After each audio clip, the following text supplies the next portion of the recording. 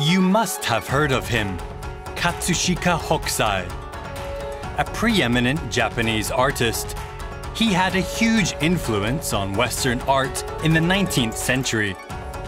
Works by Hokusai are in the collection of the Shimane Art Museum. That museum is in the Sanin region of Japan, the least populous area of the country. Yet its Hokusai collection is one of the finest in the world in both quality and quantity. Shimane Prefecture is north of Hiroshima Prefecture on the Japan Sea.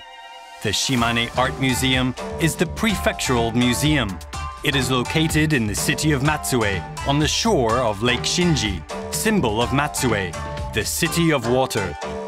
The museum owns about 1,600 works by Hokusai.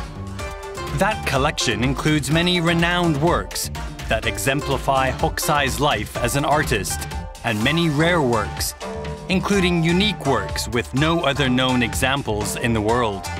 Many of these works, in accord with their donors' wishes, can only be displayed in Shimane Prefecture. That means that to view the collection, you must come to Shimane.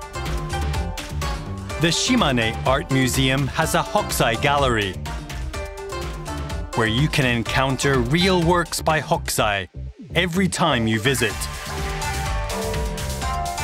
Galleries dedicated to Hokusai's work are rarities throughout the world.